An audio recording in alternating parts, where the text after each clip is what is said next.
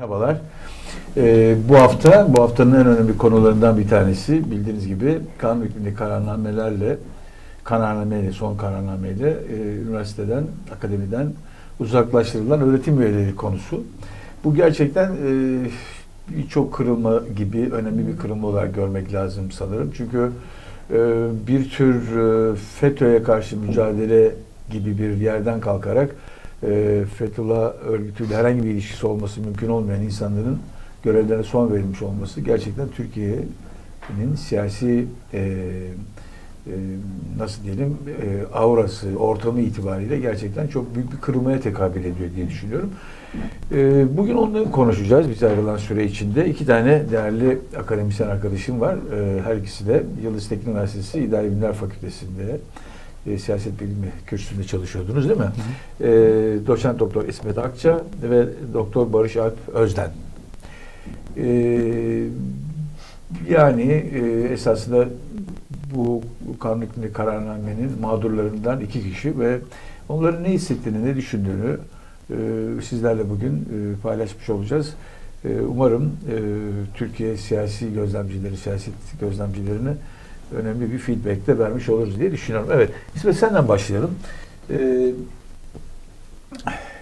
şimdi bir kere bu e, imza atmanla ilgili olarak bu bildiriye e, ne düşünüyorsun? Yani bugün olsaydı atar mıydın gibi bir soru sorsam mesela ne dersin? Yani, yani tabii bizim hiçbir e, şeyimiz yok. Sonuçta bu ülkede izlenen bir politika vardı. E, bu politika bir aslında 2000'lere girerken hani Kürt sorununda şiddetsiz e, çözüm ihtimalinin bu kadar yükseldiği, işte bir çeşit hani e, çözüm sürecinin bu kadar sahiplenildiği uzun bir e, dönemden sonra yeniden sorunun şiddetle e, çözülmesi. Hani benim de uzun yıllar e, çalıştığım e, bir konudur e, militarizm e, meselesi işte e, tezimden itibaren de yeniden bu sorunun militarizasyonunun e, yaşandığı, tabii ki formatı biçmişti. Örneğin 90'larla karşılaştığında farklılıkları içermekle birlikte sorunun evet. militarizasyonuna e, yeniden e, dönüldüğü, e, şiddetli bir biçimde dönüldüğü e, bir e, süreçti ve e, yani toplumun e, çeşitli e, kesimlerinin de hani sesinin bastırıldığı e, bir süreçti.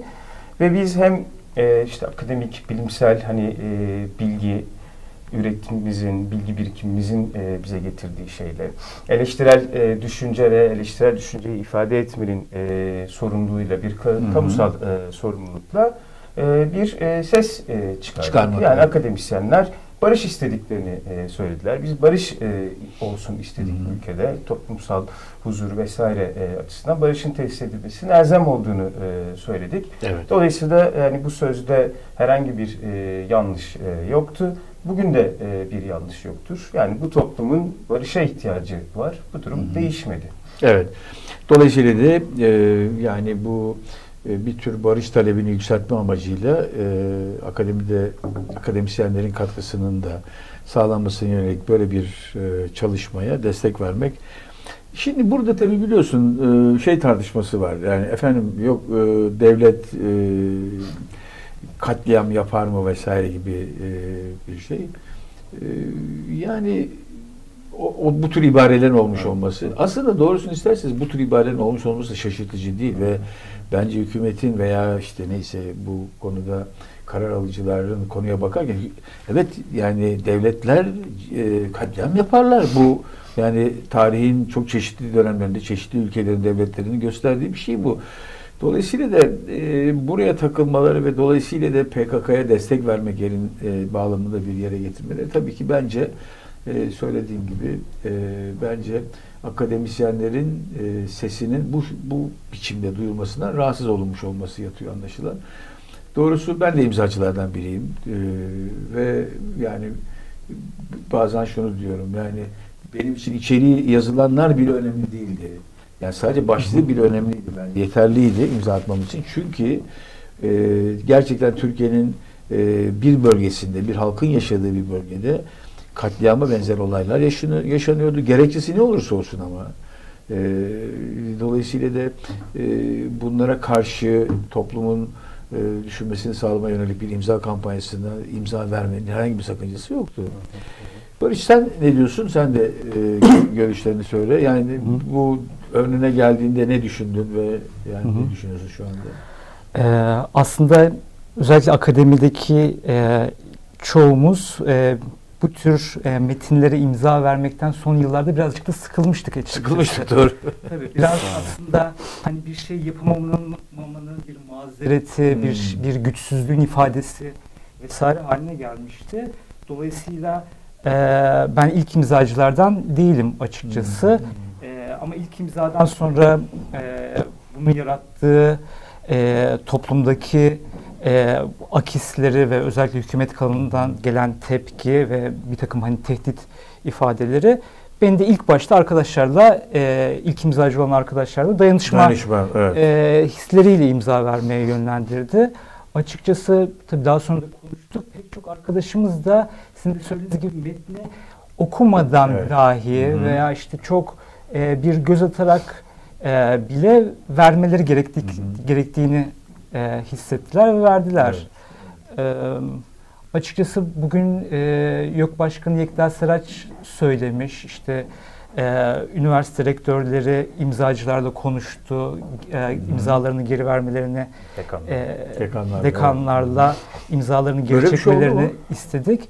Bizde olmadı ama biz e, soruşturma komisyonuna gittiğimizde de zaten hani, e, imzamızın arkasında olduğumuzu e, söyledik. Düşünce ve ifade özgürlüğü çerçevesinde olduğunu Hı. her zaman Peki e, soruşturma e, heyeti gibi bir heyet oluştu değil mi Tabii. üniversitede? Sizler, sizlerle tek tek görüşüldü mü? E, tabii e, şey yapıldı yani sonuçta bir e, disiplin e, şeyi kuruldu, e, komisyon heyeti kuruldu. E, dolayısıyla oraya tek tek gidildi ama bizim hepimizin e, ortak bir şeyi vardı. Yani Hmm. savunma da demeyeyim tırnak içinde konuşayım. Ama biz e, düşünce ve ifade özgürlüğü e, çerçevesinde Çerçevesinde, evet. hareket ettiğimizi ve bu hakkımızı ve özgürlüğümüzü e, kullandığımızı e, söyledik.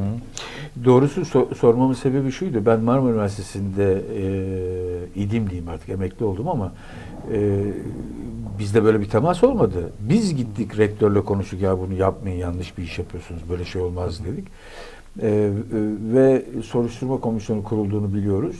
E, bizden savunmalarımızı yazılı olarak istediler. Biz de savunmalarımızı yazdık. Tabii savcılığın savunma istemesi sizde de oldu herhalde değil mi? Siz savcılarda Evet, verdiniz değil mi? rutin, Tabii. rutin.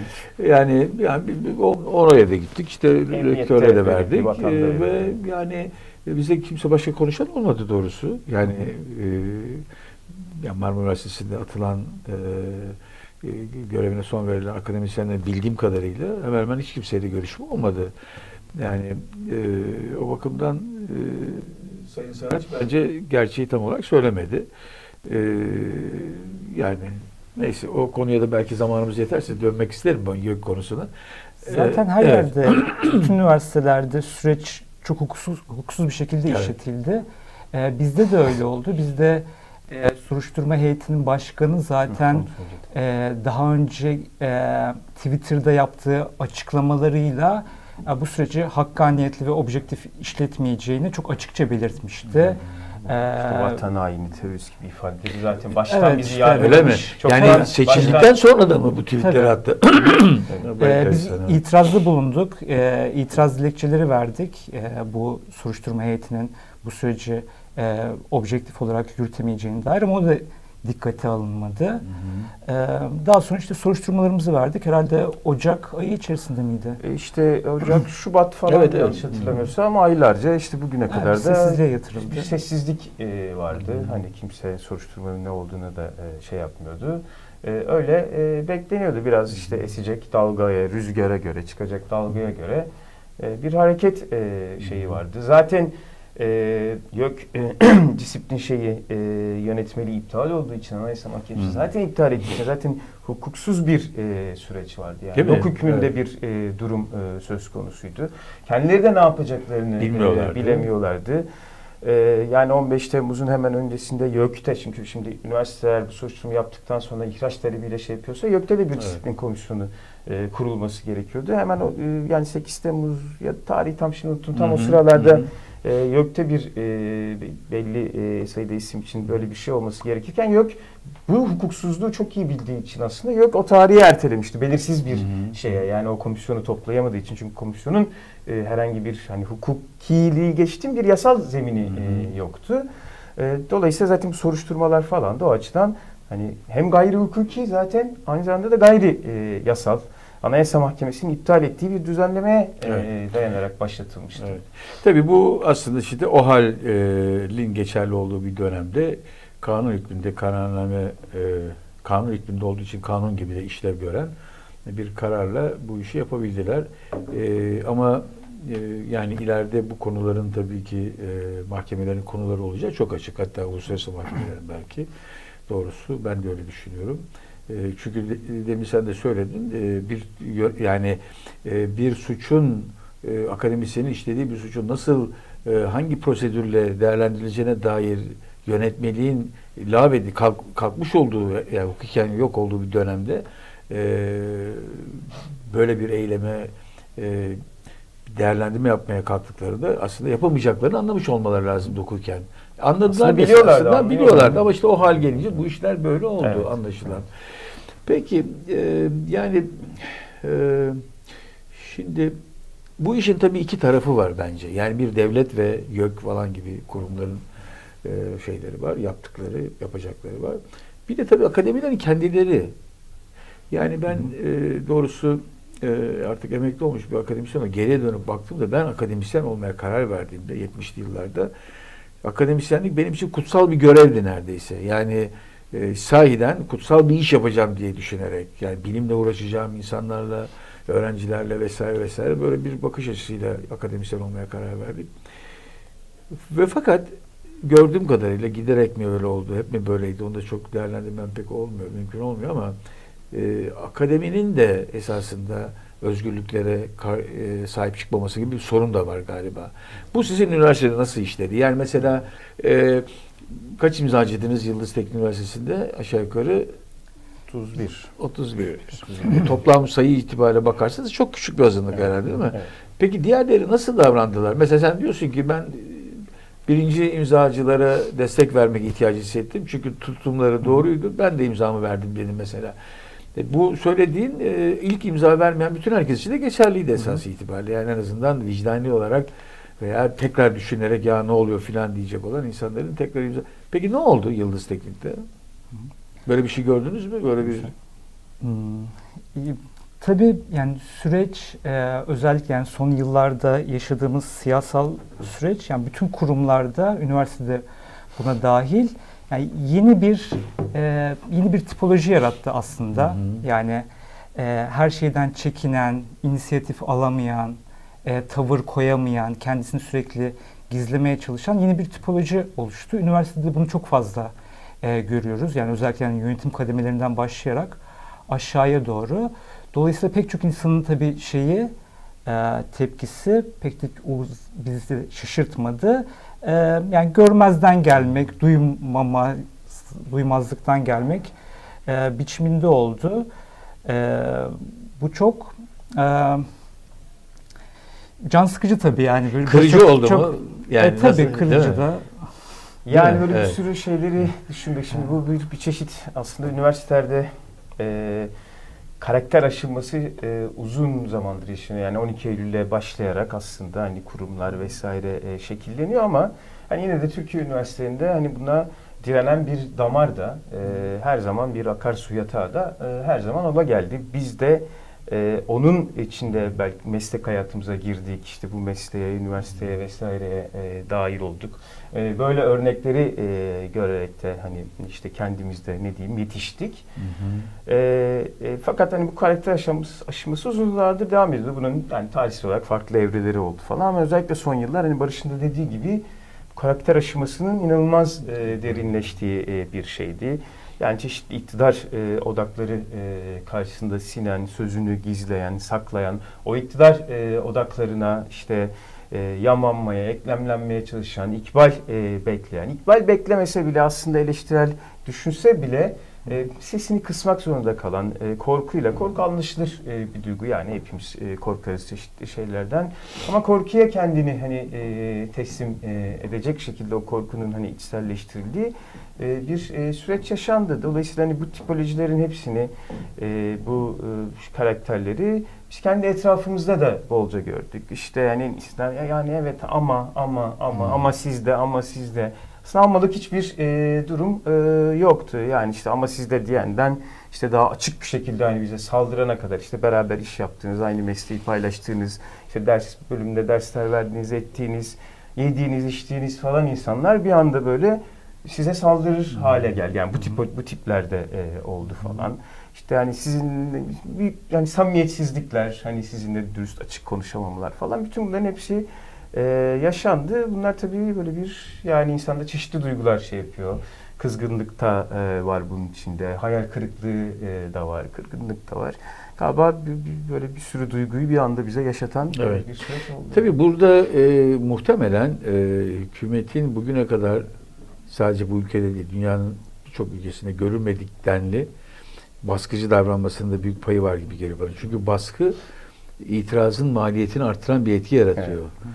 Yani e, baskının şiddeti daha doğrusu. Baskı ne kadar şiddetli olursa itiraz etmenin maliyeti yüksek oluyor ve o zaman da işte o dediğin senin e, şey ortaya çıkıyor. Bir tür erozyona uğramak e, biçimde bir durum ortaya çıkıyor. Tabii bu, bu tarafı çok üzücü.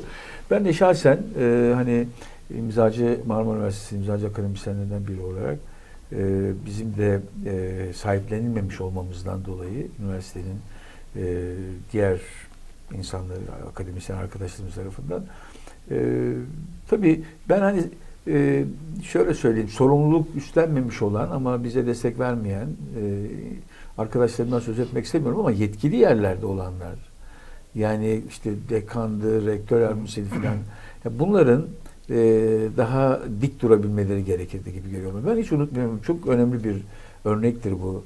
Tevfik Fikret, e, Abdülhamit zamanında Galatasaray Üniversitesi'nde, Galatasaray Lisesi'nde bu zamanlar e, müdürlük yapıyor. E, ve o, o, o sırada da Abdülhamit'e karşı öğrenciler bir eylem koymuşlar ve kaçışmışlar polis gelince. Bir kısmı da Galatasaray Lisesi'nin öğrencileriymiş. Galatasaray Lisesi'ne kaçmışlar, içeri girmişler. Polis kapıya gelmiş, içeri girmek istiyor. Demişler, yani müdürün haberi olmadan içeri kimseyi sokamayız demişler falan. Tevfik Fikret kapıya geliyor ve diyor ki polislere buraya giremezsiniz diyor benim cesedimi çiğnemeden içeri giremezsiniz diyor. Şimdi Tevfik Fikri ne zaman söylüyor bunu? Abdülhamit'in neredeyse bir insanın hayatının e, iki dudağı arasında olduğu bir dönemde böyle bir tavrı ortaya koyabiliyor. Bu hakikaten benim tüylerimi diken diken eden bir hikayedir. E, yani buradaki e, duruş maalesef bir karakter gerektiriyor galiba ve o karakter belki de işte o günün koşullarında Tevfik'te özel olarak ortaya çıkmış, görünen bir yüz olmuş. Ee, yani şu, evet. Şuna ihtimal tabii çok çok çok çok sınırlı sayıda oldu ama hani tabii ki bir, yani bir dayanışma hı hı. E, gösteren e, meslektaşlarımız da e, oldu. Yani bu işte KYK ile atılmamızdan sonra da aslında e, sadece üniversite içi, üniversite dışından vesaireden öğrencilerden aslında çok büyük bir e, dayanışma, sarıp sarmalama şeyinde e, içindeyiz. Hani bunları da unutmamak, bunları da ıskalamamak lazım. Evet. Ama hani sizin dediğiniz şey doğru tabii. İdareci pozisyonda mesela hani şöyle bir e, yani bununla benim de birebir yaşadığım şey yani size diyor ki siz bir takım hukuksuz bir şeyler yapmanızı istiyor sizden ve ben diyorum ki bu hukuksuz. Bunu yaparsanız bu hukuk dışı bir şey olacak, yasa dışı bir şey olacak ve siz de bunun sorumlusu olacaksınız. Ve o idareci diyor ki kalkıp size ya evet biliyorum ama ne yapayım yapabilecek bir evet. şey yok. Yapabilecek çok şey var. Yani evet, koltuğu bence. bırakmak da dahil. Tabii, bunun tabii. hukuksuz olduğunu kendi dilinde anlatmakta benimle her şeye aynı şekilde bakmak zorunda değilsin tabii. ama bunun hukuksuzluğunu e, anlatabilirler evet. Bu tercih e, edilmiyor. İşte bunun da çeşitli sebepleri var. Doğru. Çünkü zamanım çok azaldı. İki tane soru soracağım. Bunlardan bir tanesi e, KHK ile uzaklaştırıldınız. Peki maddi olarak üniversite herhangi bir şey ödedi mi ya da ödeyecek mi? Yok hiçbir şey alamıyoruz. Hiçbir şey yok yani Hiçbir şey alamıyoruz. Mesleğimizi e, yapma şansımız e, kalmadı bu ülke içinde. E, Ünvanlarınızı da aldılar mı şimdi? Hayır, ünvanlar e, alınmıyor. E, fakat e, mesleği yapma, e, yani kamu görevi ifa etme e, şeyimiz e, elimizden alınmış durumda. E, bütün özlük haklarımızı özlük kaybettik. Haklarımızı şey yapmış durumdayız şu anda. E, pasaportlarımız e, iptal. Yeni pasaport başvurularına e, cevap verilmiyor. Daha önce atılan, KYK'ya atılan başka meslektaşlarımız başvurmaya gittiklerinde siz başvuramazsınız e, deniyor. Dolayısıyla bir hani bir seyahat özgürlüğü vesaire de e, sınırlanıyor. E, Evet. Bu evet, Türkiye'nin e, yani e, toplumun düşünmesi, üzerine düşünmesi gereken bir konu. Peki süremiz bitti. Söylemek istediğiniz, eklemek istediğiniz bir şey var mı? Böyle senden Şimdi son e, birkaç gün önce rakamlara baktım. Yani sadece üniversite için 5000'e yakın e, akademisyen görevinden uzaklaştırılmış. Biraz çok biz konuşuluyoruz tabii yani biraz fazla göz önünde olduğumuz için belki ama e, yani ciddi bir mağduriyet var. Yani kabuğundan e, ihraç edilenlerin sayısı 120 bine geçmiş Tabii. durumda. Yani çok büyük rakamlar var e, ortada ve yavaş yavaş da bu işin siz de başta söylediğiniz yani FETÖ meselesinden uzaklaşıp tüm aslında yani Türkiye'nin işte demokratik, özgürlükçü, birikimine yönelik bir e, siyasi tasfiye olduğu anlaşılıyor. En son KYK ile e, sadece işte biz üniversiteden değil kamudan e, 600 küsür e, keskli şey oldu. E, eğitim sende öğretmen özellikle e, Atıldı, mi? atıldı. Hı. E, bu- bunlar tabii yani rakamlarda büyüdükçe e, yavaş yavaş şey de yükseliyor. E, sesler de e, yükseliyor. Ben bu hani suskunluk e, ortamının uzun süre devam etmeyeceğini düşünüyorum. Hı hı. E, yavaş yavaş zaten görüyoruz e, bu hukuksuzluğa, o hal koşullarına e, karşı e, özellikle KHK ile yapılan hukuksuzlara karşı e, tepkiler e, büyüyor. Ben bir yerde bu gidişata e, son verebileceğimizi Hı hı. düşünüyorum. Evet İsmet. Yani ben de hiçbir despotik yönetim rejimi bu şekilde devam edemez. Kendisinin destekçisi olduğunu e, düşünen e, işte tabanda vesaire bile aslında bir sürü çatlak sesler e, olduğunu e, biliyoruz. Çeşitli şekillerde bu sesler yeteri kadar güçlü çıkamıyor olabilir e, şu an için ama bir şey oluştu artık buna Hı hı. dair bir toplumsal hani toplumsal vicdanı inanılmaz yaralayan bir durum var. Herkes aslında neyin ne olduğunu görüyor. Burada büyük bir hukuksuzluk, büyük bir e, zulüm, büyük bir e, haksızlık var. Yani sadece biz değil, üniversiteden değil, tüm bu e, saldırının e, içinde. E, mutlaka Türkiye toplumu e, bunu değiştirecek, dönüştürecek, buna hayır diyecek şeyi verecektir. E, refleksi verecektir, vermeye de Evet. başladı zaten. Evet, ikiniz de umutlusunuz. ben de hani çok kampsal sayılmam, ben de benzer duygulara sahibim. Evet, e, bu haftalık da bu kadar. E, KHK'ları konuştuk. İki akademisyen arkadaşımla birlikte İsmet Akça ve e, Barış Alp Özden'de. E, bir başka programda yine görüşmek üzere. İyi günler. Teşekkür ederim geldiğiniz için. Teşekkür Sağ olun.